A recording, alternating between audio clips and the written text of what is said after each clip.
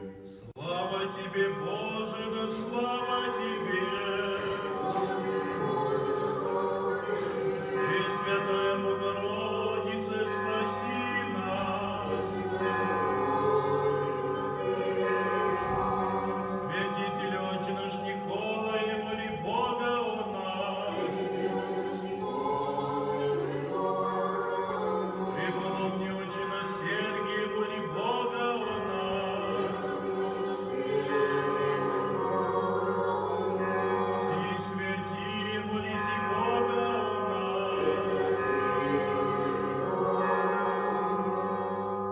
Во имя Отца и Сына и Святого Духа.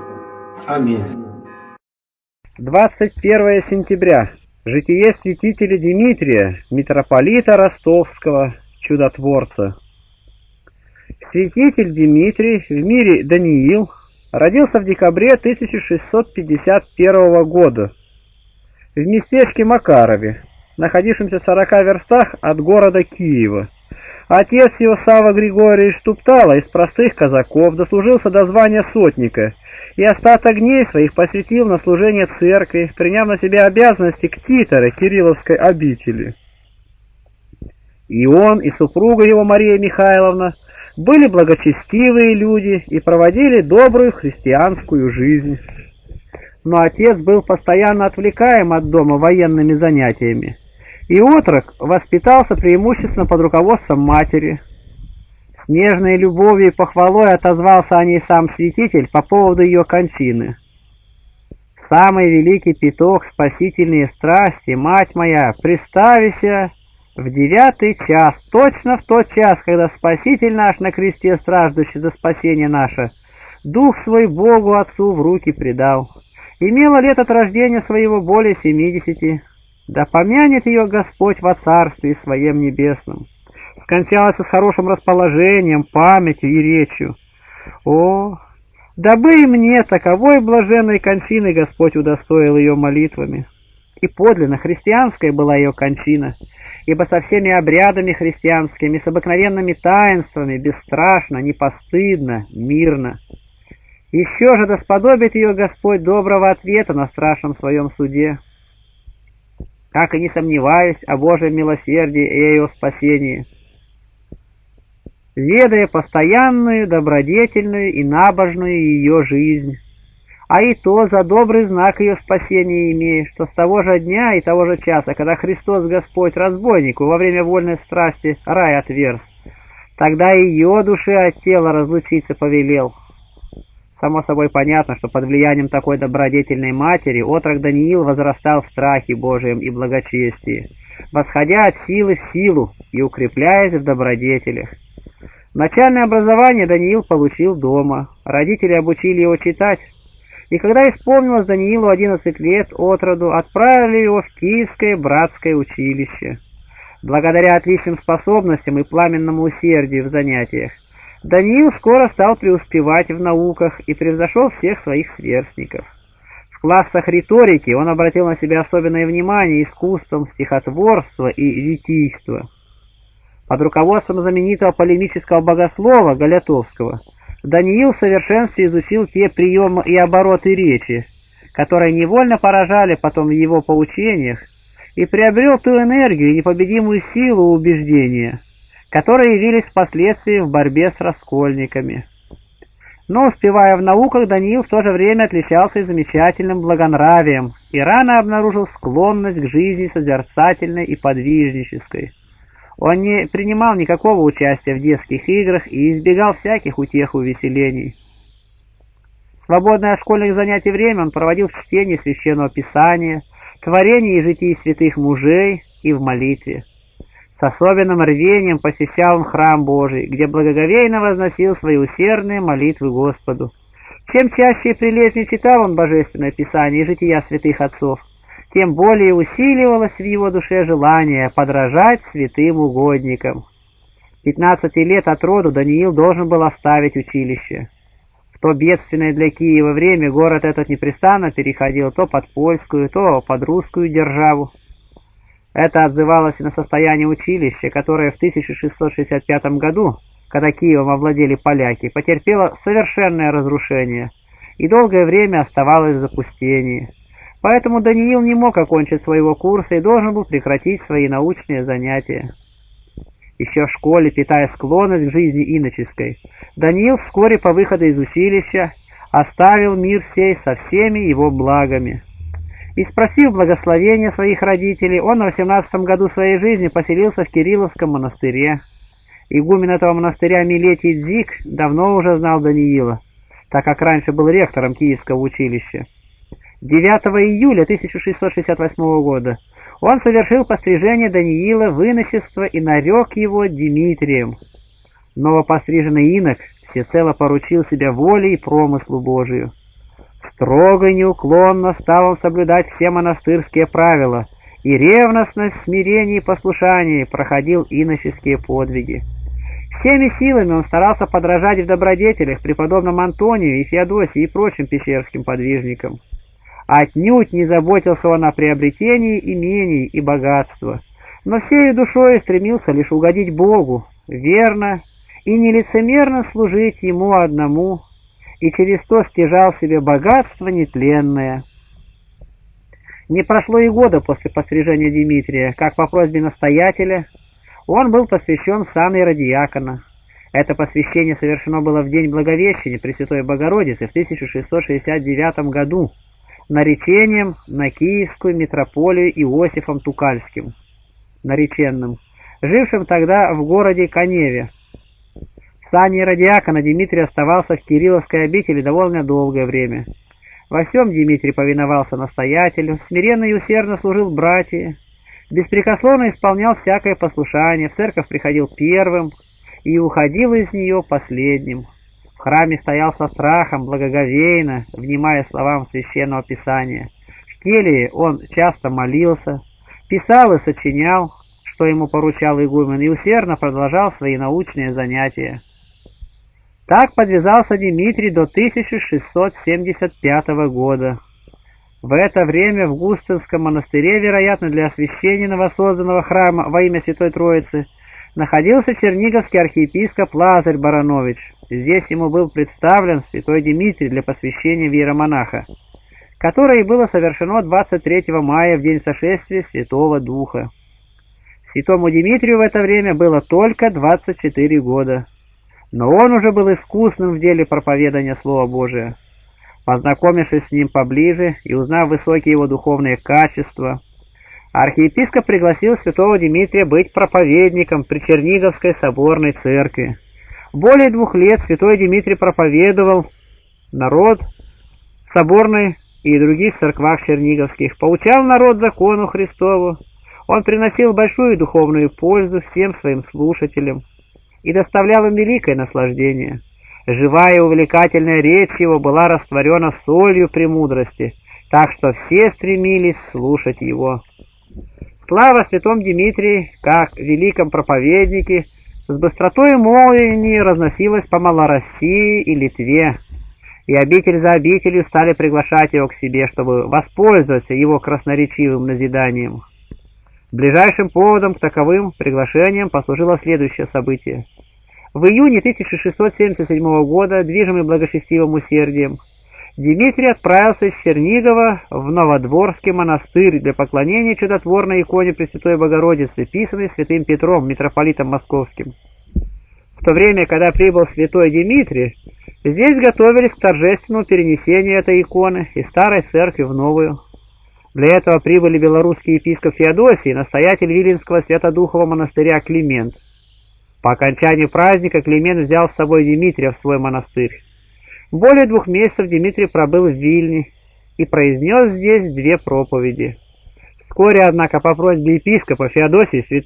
Феодосия святой Дмитрий отправился в Слуцк и, поселившись в братском Преображенском монастыре, 14 месяцев неустанно трудился в проповедании Слова Божия. По свидетельству жителей Слуцка, Дмитрий сильно полюбил Дмитрия и благодетельствовал ему ктитор монастыря Иоанн Скачкевич, на средства коего и был построен Преображенский монастырь. Святой Дмитрий также глубоко уважал и любил своего благодетеля, прожил в Слуцке до самой его кончины и почтил его память, сказав на погребении его проповедь. Между тем, святого Дмитрия неоднократно уже приглашали возвратиться в Малороссию. Его призывал и Гетман Самойлович, и прежний его настоятель Милетий, управлявший теперь Киевским Михайловским монастырем. В феврале 1679 года святой Дмитрий прибыл в Батурин и был принят Гетманом весьма ласково и милостиво. Поселившись в Николаевском Крупицком монастыре, находившемся в семи верстах от Батурина, Дмитрий продолжал ревностно подвязаться в посте, молитве, непрестанном чтении душеполезных книг, с особенным же усердием проповедовал он Слово Божие. Слава его добродетельном житии распространилась по всем обителям. Многие из них приглашали святого Дмитрия к себе для управления. Так братья Кирилловского монастыря обратились к нему с убедительной просьбой принять над ними начальствование. Но святой Дмитрий, вероятно, по смирению своему, а также удерживаемый и Гетманом, отклонил эту просьбу и отправил в Кирилла монастырь благодарственное письмо. Вскоре после этого, в 1681 году, скончался игумен Максаковского Преображенского монастыря. Братья обратились также к святому Дмитрию, прося его быть у них игуменом.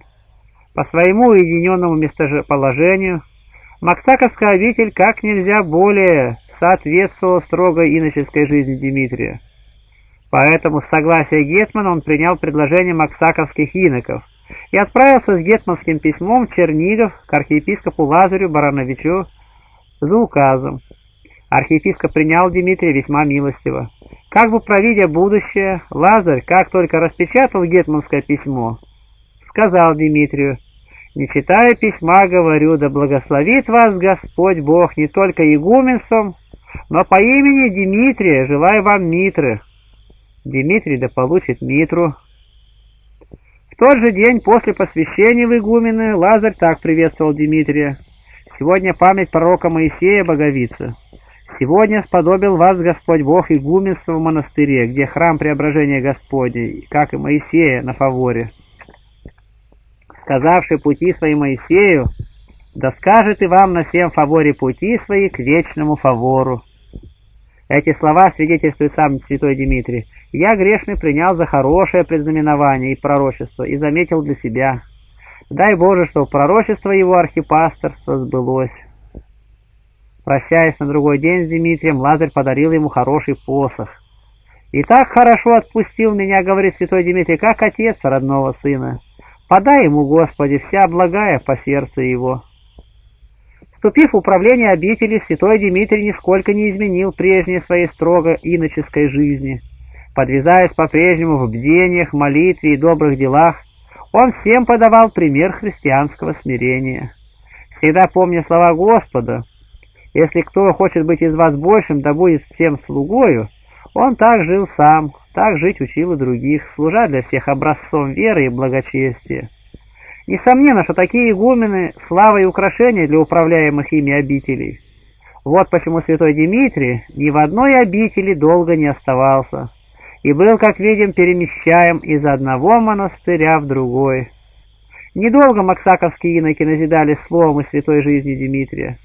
1 марта 1682 года он был назначен игуменом в Николаевский Батуринский монастырь. Но от этого монастыря сам он вскоре отказался.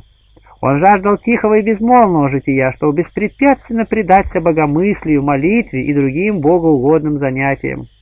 Поэтому на другой же год своего игуменства в Батурине, в день своего ангела, 26 октября 1683 года, он сложил с себя управление обителью, оставшись в ней простым иноком. Вскоре, однако, промыслом Божьим святой Дмитрий призван был к великому делу составления миней их, которыми он принес величайшую пользу всему народу русскому. В 1684 году архимандритом Киево-Печорской лавры был назначен Варлаам Ясинский. От своих предшественников Петра и Могилы и Иннокентия Гизеля он вместе с званием архимандрита наследовал мысль о великом труде составления житий святых.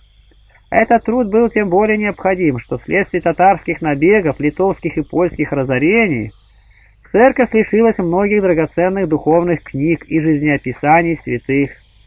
Отыскивая способного для этого важного и великого труда мужа, Варлам остановил свое внимание на святом Дмитрии, который уже прославился своей ревностью к душеспасительным трудам.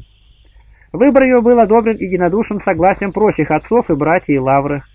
Тогда Варлаам обратился к Дмитрию с просьбой переселиться в Киевскую Лавру и принять на себя труд исправления и составления житий святых, устрашенный тяжестью возлагаемого на него труда. Смиренный подвижник старался отклонить его от себя. Но, страшась греха непослушания и хорошо осознавая сам нужды церкви, он предпочел покориться настоятельным требованиям Варлаама, возлагая надежду на помощь Божию на молитву Пречистой Богоматери и всех святых. Дмитрий в июне 1684 года приступил к новому своему подвигу и с великим тщанием начал проходить возложенное на него послушание. Душа его наполнена образами святых, жизнеописанием коих он занимался, сподоблялась духовных видений во сне, которые укрепляли его на пути к высшему совершенству духовному и ободряли его в великих трудах. Августа 10 1685 года, повествует сам святой Дмитрий, в понедельник услышал я благовестку за утренне, но по обыкновению своему ленивству, разоспавшись, не поспел к началу и проспал даже до чтения псалтири. В это время видел следующее видение. Казалось, будто поручено было мне в смотрении некоторой пещеры, в кое почивали святые мощи. Осматривая со свящою гробы святых, увидел там же якобы почивающую святую великомученицу Варвару. Приступив к ее гробу, узрел ее лежащую боком, и гроб ее являющий некоторую гнилость. Желая он ее очистить, вынул мощи ее из раки и положил на другом месте. Очистив раку, приступил к мощам ее, и взял он ее руками для вложения в раку. Но вдруг узрел в живых Варвару святую. «Святая Дева Варвара, благодетельница моя, умоли Бога о грехах моих!» — воскликнул я. Святая ответствовала, будто бы имея сомнение некое. «Не ведай, умолю ли, ибо молишься по-римски». Думаю, что это мне сказано для того, чтобы я весьма ленив к молитве и уподоблялся в этом случае римлянам, у коих весьма краткое молитвословие, так как и у меня краткая и редкая молитва. Слова эти, услышав от святой, начал я тужить и как бы отчаиваться. Но святая спустя мало времени воззрела на меня с веселым и осклабленным лицом и рекла «Не бойся, и иные некоторые утешительные произнесла слова, коих я и не вспомню. Потом, вложив в раку, я облобызал ее руки и ноги, казалось, тело живое и весьма белое, но рака убогая и обветшалая. Сожалея о том, что нечистыми скверными руками и устами дерзая касаться святых мощей, и что не вижу хорошей раки, размышлял, как бы украсить этот гроб, и начал искать новые, богатейшие раки, которые бы переложить святые мощи но в том самом мгновении проснулся. Жалея о пробуждении моем, почувствовал в сердце мою радость. Заключая этот рассказ, святой Дмитрий смиренно замечает. Бог ведает, что этот сон знаменует и каково оного события воспоследует. О, когда бы молитвами святые Варвары, покровительницы моей, дал мне Бог исправление злого и окаянного жития моего. Другое сновидение, случившееся через три или четыре месяца после первого, было следующее. В 1685 году Филиппов пост, пишет святой Дмитрий, в одну ночь, окончив письмом страдания святого мученика Ореста, которого память 10 ноября почитается, за час или меньше до заутренне, лег отдохнуть, не раздеваясь, и в сонном видении узрел святого мученика Ареста, лицом веселым ко мне вещающего, сими словами — я больше претерпел за Христа мук, нежели ты написал. Сие рек открыл мне перси свои и показал в левом боку великую рану. Сквозь, во внутренность проходящий, сказал, «Сие мне железом прожжено». Потом открыл правую по локоть руку, показал рану на самом против локтя месте и рекал, это мне перерезано». При этом видны были перерезанные жилы, также и левую руку открывшая. На таковом же месте такую же указал рану, сказуя, «И то мне перерезано». Потом, наклонив, а, наклонясь, открыл ногу и показал на сгибе колена рану, также и другую ногу до колена открывши, такую же рану на том же месте показал и сказал, «А это мне косою рассечено». И став прямо взирая мне в лицо, сказал, «Видишь ли, больше я за Христа претерпел, нежели ты написал». Я противу этого ничего же, смею сказать, молчал и мыслил себе, кто сей есть арест, не из числа ли пяточисленных? 13 декабря. На эту мою мысль святой мученик ответствовал, не тот я арест, который от пяточисленных, но тот, которого ты ныне житие написал. Видел я другого некого важного человека, за ним стоявшего, и казался мне также некий мученик быть, но ничего не говорил. В то же самое время учиненный за утренний благовест пробудил меня, и я жалел, что сие весьма приятное видение скоро окончилось. А что это видение, прибавляет святой Дмитрий, записав его спустя более трех лет? Я недостойный и грешный истинно видел, как написал, не иначе сие под клятву моей священнической исповедую, ибо все оное, как тогда совершенно памятовал, так и теперь помню. Прошло слишком два года с того времени, когда святой Дмитрий сложил в себя игуменство, и в уединенной келье совершал свой великий труд. Случилось ему быть вместе с архимандритом Варламом в Батурине. С радостью встретили его гетманы нового митрополита и стали убеждать его снова принять на себя управление Николаевской обителью. Долго Дмитрий отказывался от этого, но, наконец, должен был уступить усердным просьбам. И 9 февраля 1686 года переселился в Батурин. Но оставив Киевскую лавру, святой Дмитрий не оставил своего дела. Тем же усердием, как и в лавре, он продолжал составлять жития святых, и здесь окончил первую четверть миней читих, заключающую в себе три месяца – сентябрь, октябрь и ноябрь. Труд свой святой Дмитрий представил архимандриту Варлааму, прочитав и рассмотрев рукопись вместе с соборными старцами и другими благоразумными мужами. Варлаам решил приступить к печатанию житий святых. Святой Дмитрий прибыл из Батурина в Лавру, и под его личным наблюдением в 1689 году была напечатана первая книга Миней Читих. Вскоре после сего святому Дмитрию представился случай быть в Москве. Князь Голицын отправил на Моск... Москву Гетмана Мазепу с донесением об окончании похода на, на Крым. Вместе с Гетманом были отправлены для объяснения с патриархом по некоторым церковным вопросам святой Дмитрий и Иннокентий, игумен Кириллова монастыря. Это было 21 июля 1689 года. По прибытии в Москву они были представлены царю Иоанну Алексеевичу и царевне Софии. В тот же день святой Дмитрий представился патриарху Иакиму. Спустя месяц после своего приезда святой Дмитрий вместе с Гетманом были в Троице-Сергиевой лавре. Здесь тогда жил царь Петр Алексеевич, который весьма милостиво принял Дмитрия. В лавре же Дмитрий имел случай опять видеть патриарха. «Мы посещали его часто», — говорил сам святый. «Он благословил мне грешному продолжать писанием жития святых и дал нам благословение мне образ Пресвистой Богородицы в окладе. Возвратившись в свой монастырь, святой Дмитрий с большей ревностью стал трудиться над составлением житий святых, чтобы удобнее заниматься своим богоугодным делом.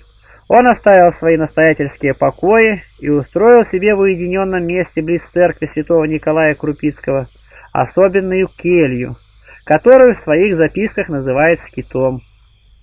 В то время как святой Дмитрий трудился над второй книгой Читименей, новый московский патриарх Адриан 1636-1700 годы, последний патриарх всероссийский, прислал ему похвальную грамоту. Грамоты сию привез Варлаам, возведенный и посвященный в Москве сан митрополита Киевского. Сам Бог писал патриарх, воздасти, братья, всяким благословением благостынным, Напишу я тебя в книге жизни вечной за твои богоугодные труды в Писании, исправлении же и типом издании книги душеполезной житий святых на три месяца 1 сентября, октября и ноября. Той же и впредь да благословит, укрепит и поспешит потруждаться тебе даже на всецелый год, и прочие таковые же жития святых, книги исправите совершенно и типом изобразите. Вместе с тем патриарх просил и нового митрополита и будущего архимандрита Лавры о содействии во всем святому Дмитрию, искусному, благоразумному и благоусердному делателю.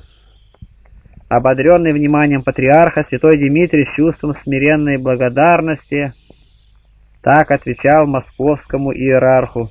«Да похвален и прославлен будет Бог во святых и от святых славимый. Яко даровал еси ныне церкви своей святой такового пастыря, доброго, искусного, ваше архипасторство, чтобы в начале своего пасторства, во-первых, всех о всех попечись и промышлениями о умножении Божией и святых Его славы, желающий жития моное в мире типом изданным быти на пользу всему христианскому православному российскому роду. Слава сия всем преподобным его. Ныне уже и я недостойный, усерднее Господу поспешествующему, на предлежащую простую, бренную и грешную мою руку и мои святительства ваше, в том деле пособствующее мне, укрепляющее же и наставляющее благословение, еже попремногу возбуждает меня, да сон лености оттряс, повелеваемое мне творю тщательно.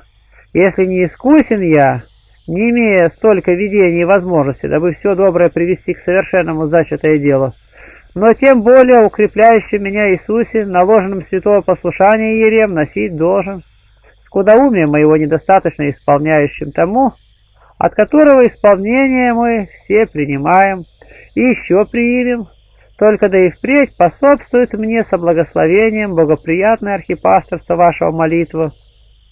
На нее же я сильно надеюсь. Теперь святой Дмитрий решился посвятить себя исключительно чтим Минеям. Февраля 14 1692 года повествует он сам в первую неделю поста перед обеднью оставил и сдал игуменство мое в Батуринском монастыре для способнейшего моего пребывания и писания житий святых. Живя в уединенной своей келье, он составил вторую книгу, заключавшую в себе следующие три месяца – декабрь, январь февраль. И 9 мая 1693 года сам привез ее в Киево-Печорскую типографию. Но как не стремился трудолюбивый инок к тихой и уединенной жизни, люди, ценившие его высокие душевные качества, не давали ему покоя. Так, пока святой Дмитрий наблюдал за печатанием своего труда, новый архиепископ Черниговский, святой Феодосий Углицкий, убедил его принять на себя управление Петропавловской обителью в 20 верстах от города Глухова. Во время пребывания его в монастыре в феврале 1695 года окончено было печатание второй четверти Четименей. И за эту книгу патриарх Адриан удостоил Дмитрия таким же похвалам, как и за первую, прислав ему другую одобрительную грамоту. Это побудило Дмитрия усердно продолжать свой труд. И он начал готовить третью книгу, заключающую в себе месяцы март, апрель и май. В начале 1697 года святой Дмитрий был назначен настоятелем Киева, Киевского Кириллова монастыря, а через пять месяцев, после всего 29 июня, его поставили в архимандрита Черниговского и Елецкого Успенского монастыря. Так исполнилось, наконец, благожелание Лазаря Барановича, Дмитрий получил Митру. Но возведенный в сан архимандрита святой Дмитрий, памятуя слова Святого Писания, кому много дано, с того много и спросится, предался своим трудам и подвигам еще с большим рвением и усердием. Не оставляя занятий житиями святых, святой Дмитрий не забывал и монастырского благоустроения, и всюду помогал советом и рассуждением, словом и делом. Прошло еще два года, и святой Дмитрий был переведен в Спасский Новгород-Северский монастырь. Это был последний монастырь, коим управлял святой Дмитрий. Здесь он окончил третью четверть Миничитей, которая и была напечатана в начале 1700 года. После всего архимандрит Лавры Иосаф Кроковский с братьями в знак особенного уважения к составителю житий святых прислал ему в дар икону Пречистой Богородицы, пожалованную царем Алексеем Михайловичем киевскому митрополиту Петру Могиле во время венчания своего на царство. В том же 1700 году император Петр Великий в заботах об отдаленных областях своих обширных владений поручил киевскому митрополиту Варламу поискать из архимандритов или игуменов или других иноков доброго и ученого и благо непорочного жития, которому в Тобольске быть митрополитом, и мог бы Божией милости проповедовать в Китае и в Сибири, в слепоте идолослужения и других невежествиях закоснелых человек, приводить в познание служения и покорение истины, истинного живого Бога. Варламу никто в этом отношении не был столь известен, как архимандрит Новгород-Северский и святой Дмитрий в начале 1701 года был вызван в Москву. Здесь он сказал императору приветственную речь, в которой изобразил достоинство царя земного, представляющего на земле образ Христа, царя небесного. Вскоре, 23 марта, святой Дмитрий был рукоположен митрополита Сибирского и Тобольского. Высокой честью украсили смиренного Дмитрия, но она была ему не по сердцу. Сибирь страна суровая и холодная, а здоровье святого Дмитрия было слабое, от непрестанных занятий, расстроенная.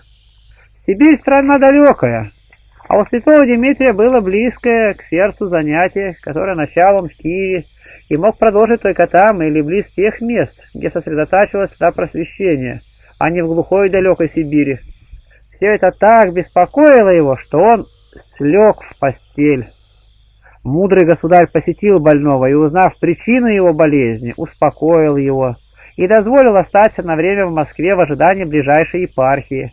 Вакансия на такую епархию вскоре открылась. Скончался ростовский митрополит Иосаф, и святой Дмитрий 4 января 1702 года был назначен его преемником. В Ростов святой Дмитрий прибыл 1 марта, во вторую неделю Великого Поста. Вступив в город, он прежде всего посетил Спасо-Яковлевскую обитель. Войдя в собор Зачатия Божией Матери, где почивает мощи святителя Якова Ростовского, новый архипастырь совершил обычное моление и в то же самое время, узнав по особенному откровению свыше, что в Ростове суждено ему окончить свою многотрудную и многополезную жизнь, назначил для себя могилу в правом углу собора и сказал окружающим, «Вот покой мой, здесь селюся во век века». Совершив после всего в Успенском кафедральном соборе божественную литургию, святитель произнес новой своей пастве красноречивое и трогательное слово, где изложил взаимные обязанности пастыря и паствы. «Да не смущается, — говорил святитель, — сердце ваше о моем к вам пришествии. Дверями я вошел к вам, но не перелез Инди, я не искал, но был сам взыскан. И я не ведал вас, и не вы меня не знали, судьбы же, Господа, бездна много. И то он меня послал к вам, я же пришел, чтобы не вы мне служили, но да я послужу вам по слову Господню. Кто хочет быть среди вас первым, да будет всем слуга». Вступив в управление ростовской митрополией, святитель Дмитрий нашел в ней великие нестроения. С ревностью Ильи он предался неусыпным заботам о благоустроении церковном и спасении душ человеческих. Как истинный пастырь, следуя словам Евангелия, так да просветится свет ваш пред людьми, чтобы они видели ваши добрые дела и прославили Отца вашего Небесного. Святитель сам во всем являлся образцом благочестия. В то же время он старался искоренять в людях всякого звания злые нравы, зависть, неправду и другие пороки. Особенно огорчали святители духовенства своим невежеством и пренебрежением к проповеданию Слова Божия. «Оли окаянному времени нашему», — говорил святой Дмитрий в одном из своих поучений, «ибо отнюдь пренебрежено то сеяние, весьма оставлено Слово Божие, и не знаю, кого во-первых окаивать требуется, сеятелей или землю, иереев ли или сердца человеческие, или обои вместе. Вместе не потребно бы, не творящей благостыни нет ни одного, сеятеля нет, не сеет, а земля не принимает. Иереи не брегут, а люди заблуждают. Иереи не учат, а люди невежествуют.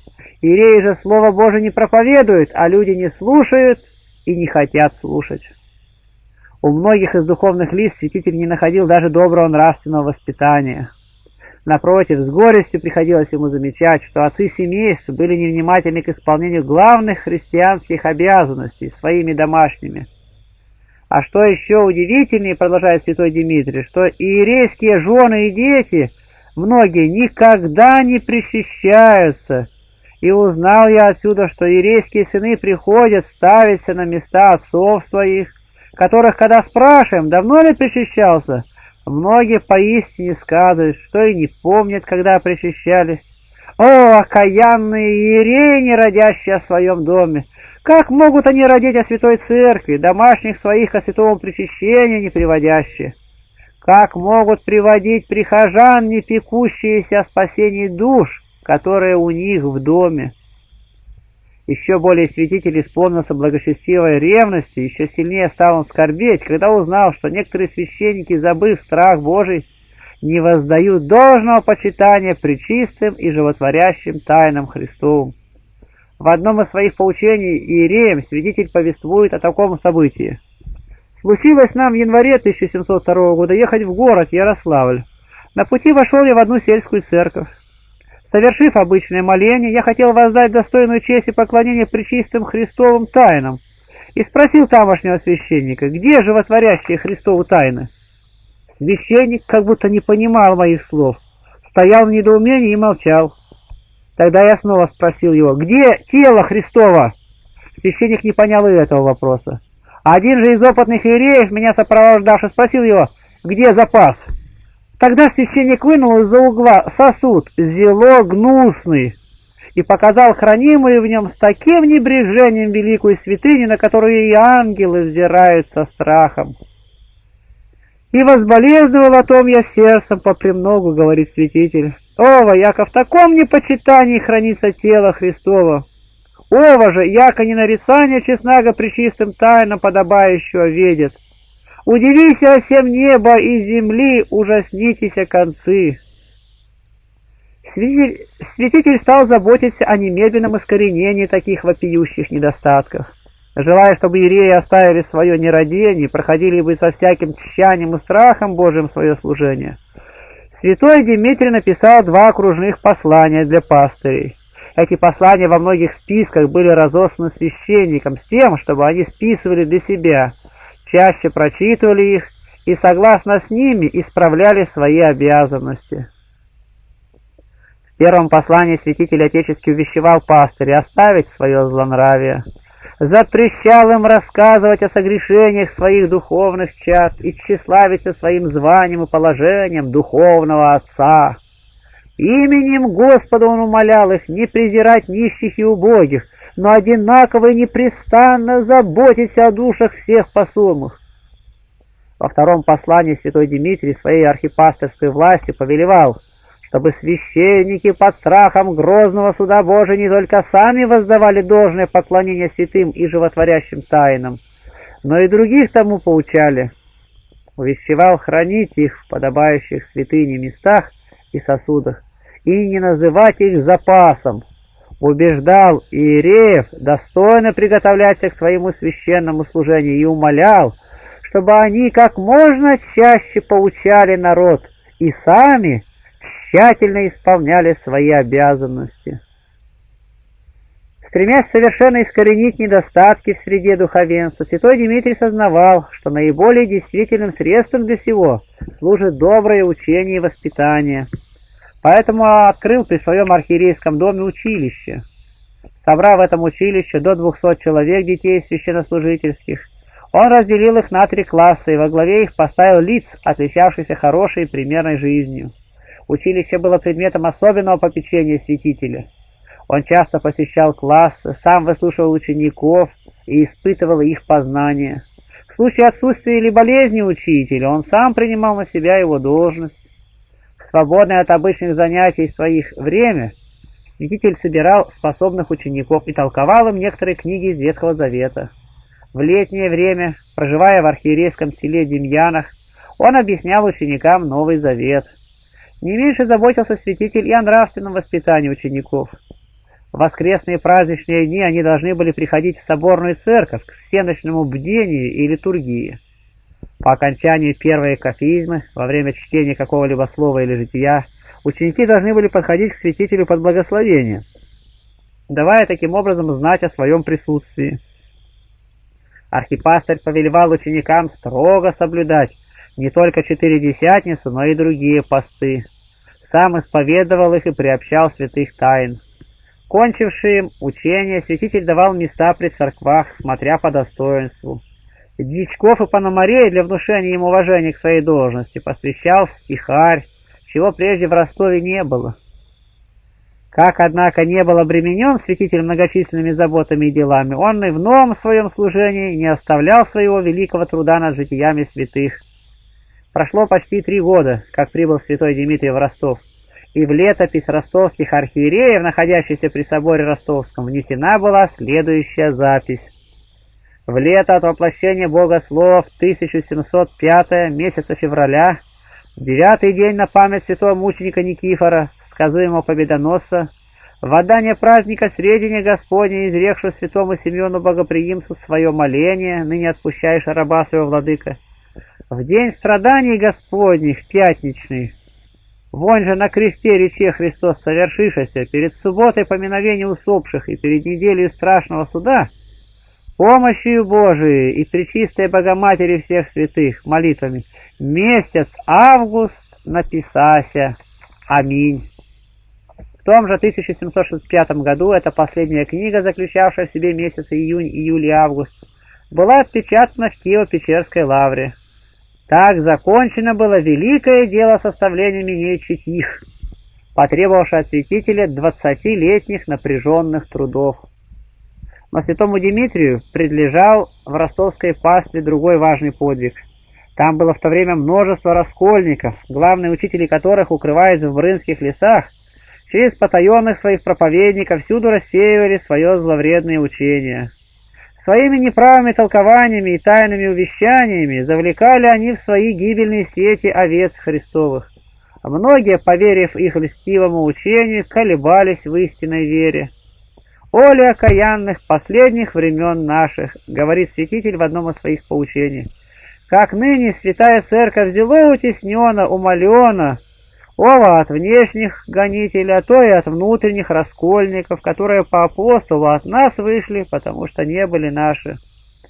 И уже столь от раскола умолилась самая истинная соборная церковь апостольская, что едва где истинного сына церкви найдешь. Едва же не во всяком городе иная некая особа изобретается вера, и уже о вере и простые мужики и бабы, весьма пути истинного не знающие, догматизуют и учат. Яко же о сложении трех перстов глаголище, неправый и новый крест быти, и в своем упорстве окаянии стоят, презревшие и отвергши истинных учителей церковных. Крайне прискорбны были такие явления для просвещенного защитника веры Христовой.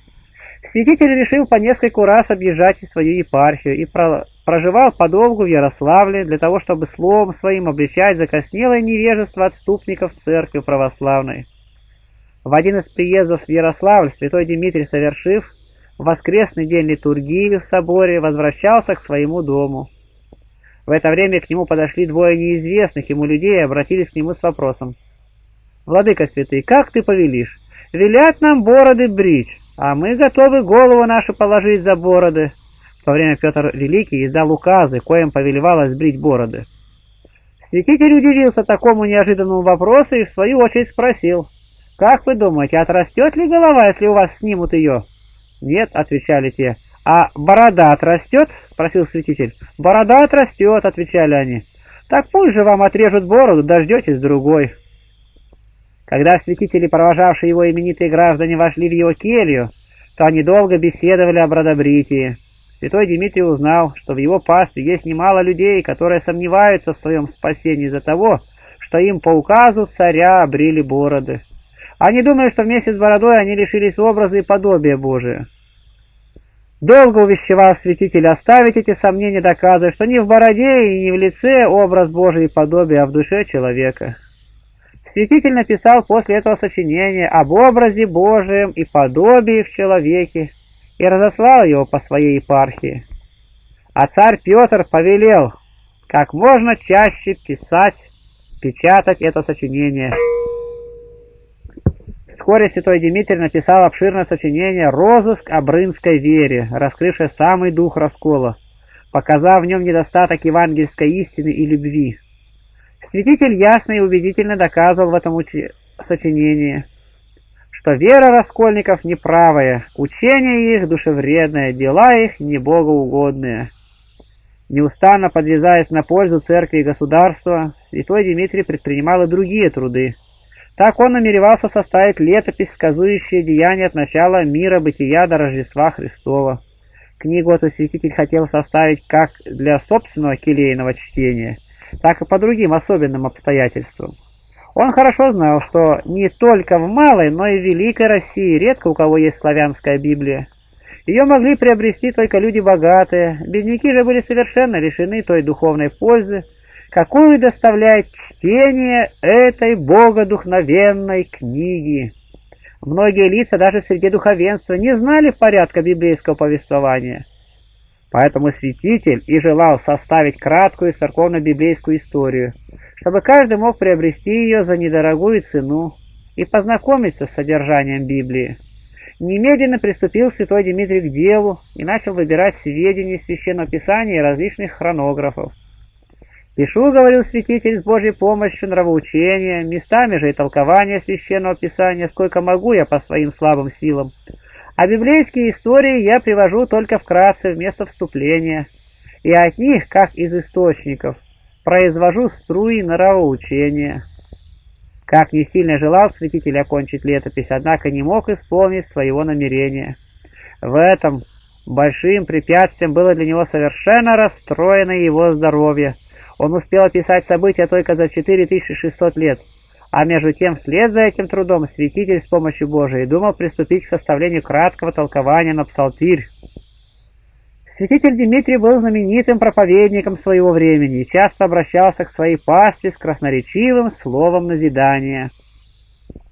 Никакие труды и обязанности никогда не отвлекали его от проповедования Слова Божия.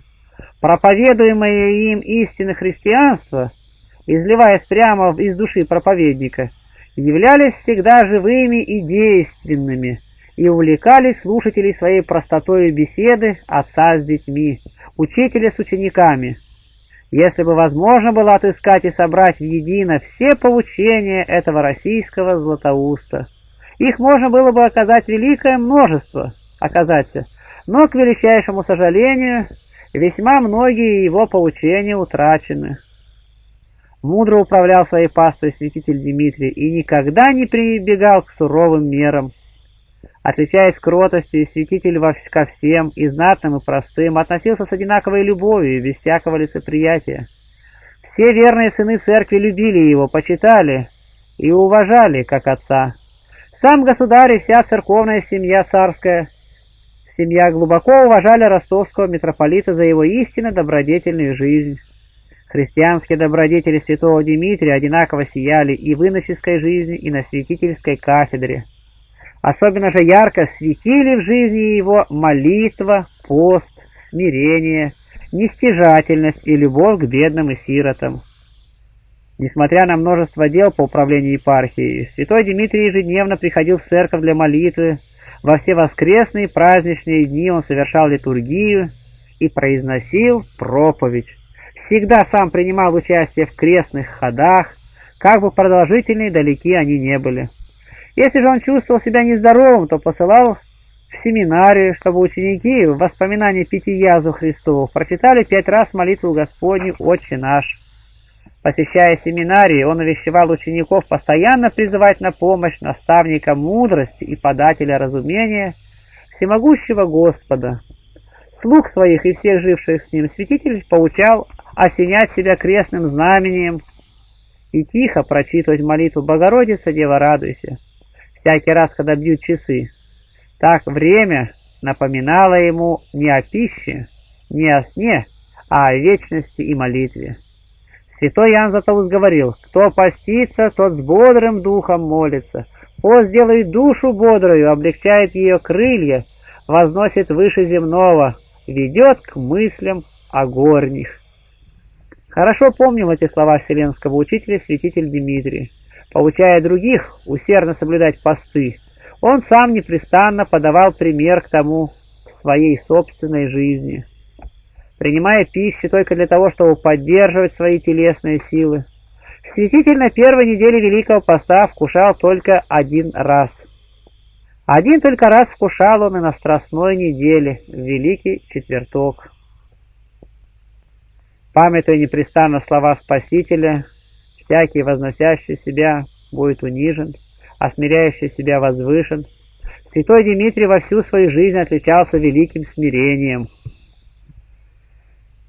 «Несем таков, — говорил о себе святой, — как любовь твоя не пщует меня быти. Несем благонравен, но злонравен, обычаев худых исполнен, и в разуме далеко отстаю от разумных.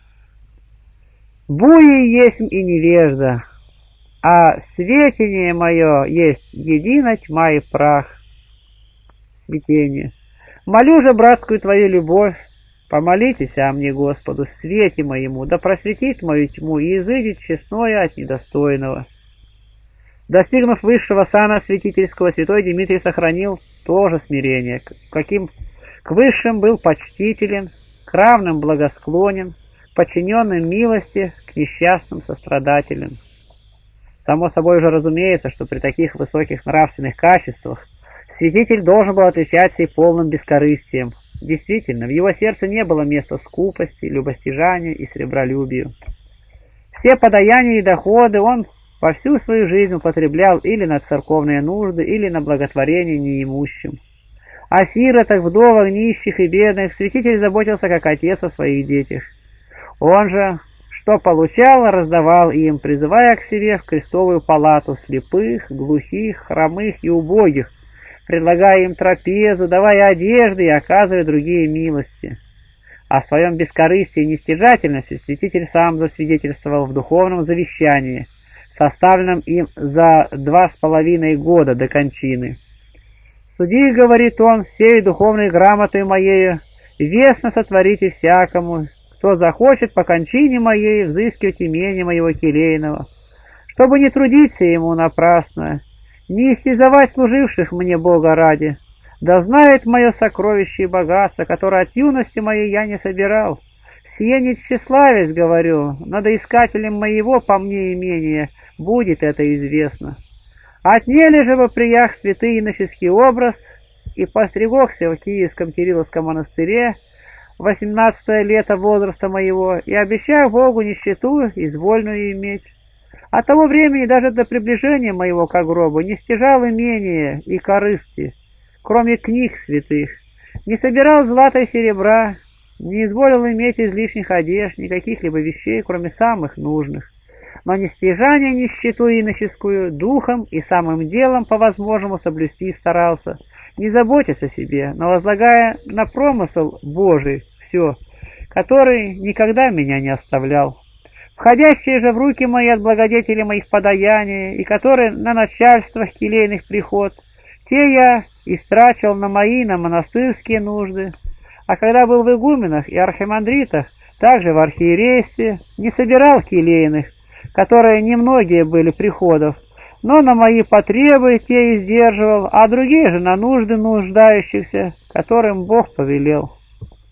Никто же да трудится после смерти моей, испытывая или выискивая, какое мне келейное есть собрание.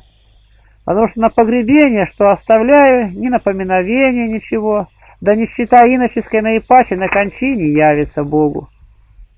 Верую, как приятнее ему будет, если единая цата по мне не останется, и когда бы многое собрание было раздаваемо, чтобы...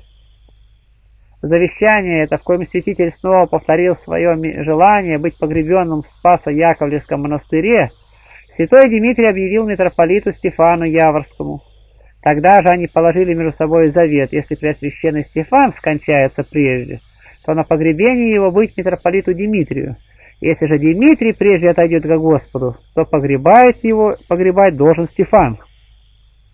Святитель Дмитрий скончался 58 лет от роду на 28 октября 1709 года, через день после своего тезаименитства. За несколько дней до кончины донесли ему о скором прибытии в Ростов царицы Пороскевы Федоровны для поклонения чудотворной иконе Богородицы, вдовствующая супруга царя Иоанна Алексеевича, скончавшегося 1696 году. которую положено было на этот раз по причине осенней непогоды, затруднившей путешествие царицы в Ярославль, перенести отсюда в Ростов. Святитель, услышав это, призвал своего казначея, монаха Филарета, и пророчески объявил ему о близости своей кончины. «Все грядут в Ростов две царицы, царица небесная и царица земная. Только я уже видеть их не сподоблюсь, а надлежит принятие тех готовым быть тебе казначею».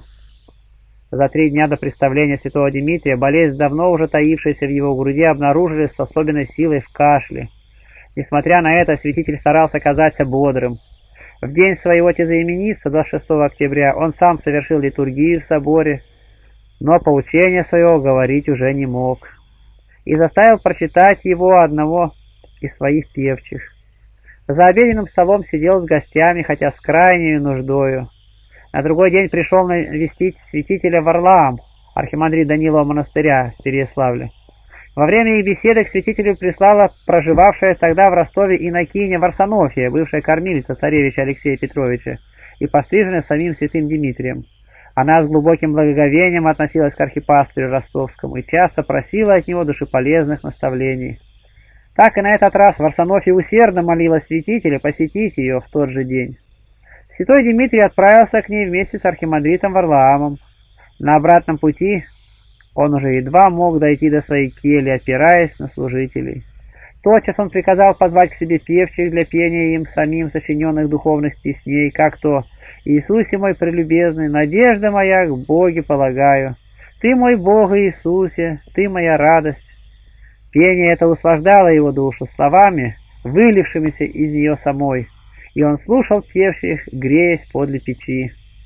По окончанию пения отпустил певчих, святитель удержал одного из них, Саву Яковлева, более любимого им за усердие в переписывании его сочинений.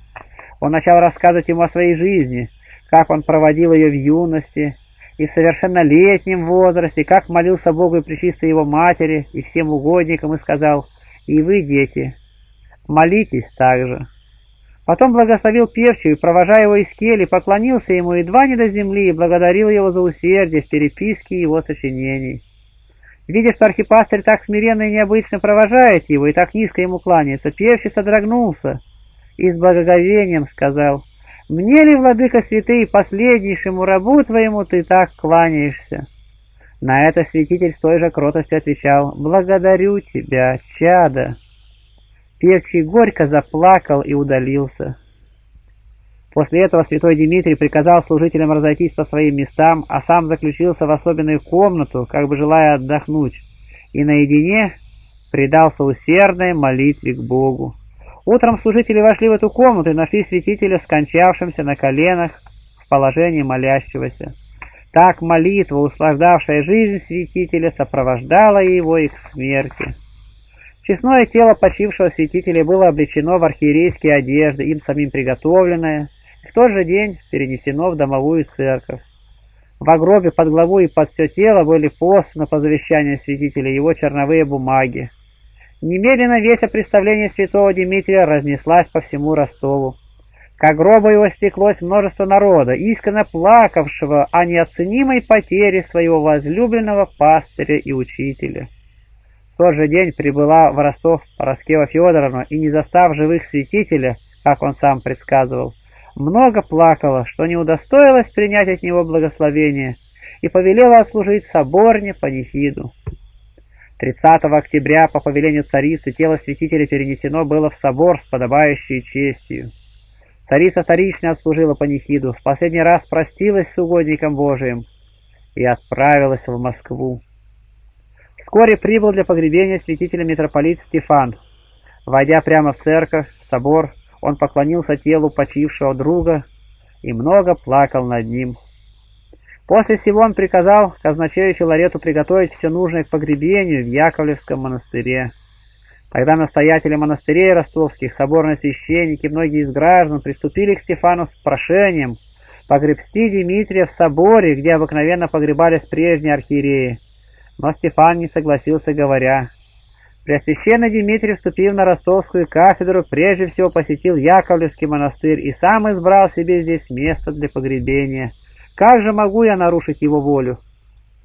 В назначенный для погребения день 25 ноября митрополит Стефан, верный завету дружбы, совершил литургии надгробное пение, при котором произнес слово, часто восклицая «Свят Дмитрий, свят!».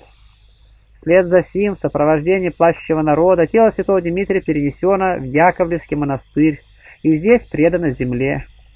Преосвященный Стефан написал надгробные стихи, в коих, между прочим, говорил «Сивы Ростова, града люди, рыдайте, пастыря умершего слезно поминайте, Дмитрия владыку и преосвященно, митрополита тихо и смиренно». В 42 года тело Дмитрия почивало под спудом. В 1752 году, когда стали разбирать ветхий пол, то нашли деревянный изгнивший обруб, сверх которого вместо крыши положены были толстые бревна.